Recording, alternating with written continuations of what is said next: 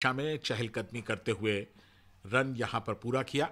इस एक रन के साथ अब 50 रन हार्दिक पंड्या के पूरे हो चुके हैं, यानी कि हार्दिक पंड्या ने अपना शानदार अर्धशतक पूरा किया है। क्या ज़बरदस्त बल्लेबाजी की है और किस तरह के वो बल्लेबाज हैं।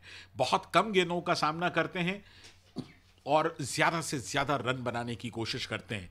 यानी कि टीम के लिए जो भी कंट्रीब्यूशन दिया जा सकता है, वो लगातार हार्दिक उसको देते रहते हैं। चार चौके और तीन छक्के। हार्दिक पंड्या की बल्लेबाजी में अब तक निकले हैं। कुल मिलाकर सातवां अर्धशतक हार्दिक पंड्या के बल्ले से निकलता हुआ। पहले शतक की प्रतीक्षा है उन्हें और अभी वक्त है उनके पास कि शायद वो इसे इस अर्धशतक को शतक में तब्दील कर सके।